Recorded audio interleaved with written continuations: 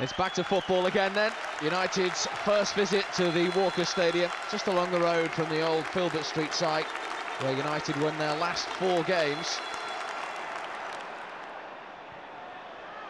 Quickly taken from Scholes to Fletcher. Lovely first touch, not a bad second one either, and straight at Ian Walker. Great first touch, but you know something, Steve? He could have taken another touch. Marcus Bent is the on-loan striker from Ipswich. He gets the flick there to Dickov. Back to Bent. He's still going here, Bent. Howard's going to have to be quick.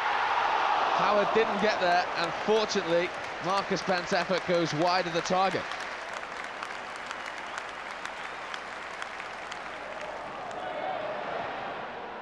That's in towards Keane. This must be a goal. It is. Roy Keane's first league goal in 20 months. In Ryan Giggs, in fact, is congratulating him.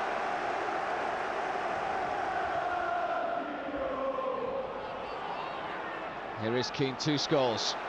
He's going to have a go. It's Van Nistelrooy's onside, 2-0. Ruud van Nistelrooy in the headlines for the right reasons, where he's been so many times, and just look at the elation on his face.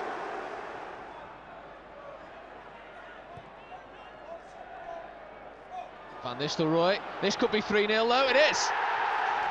Brilliant. Two for Van Nistelrooy, three for United, a minute before half-time, and that is virtually done and dusted.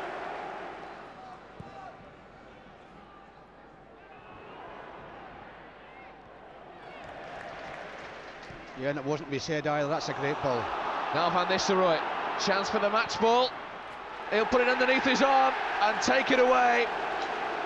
A week in which a lot of horrible and unfair things have been said about him. He's replied in the best possible manner. Taught a complete footballing lesson today.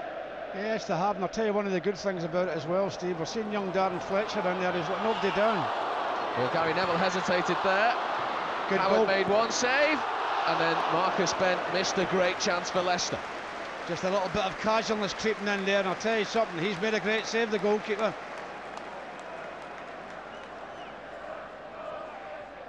Is its corner. Oh, free header, and they have got a goal. Leicester City have a consolation through Frank Sinclair. That will not please United. United had won by half-time. Just what the doctor ordered for Alex Ferguson. At times, a real footballing lesson. Leicester 1, United 4.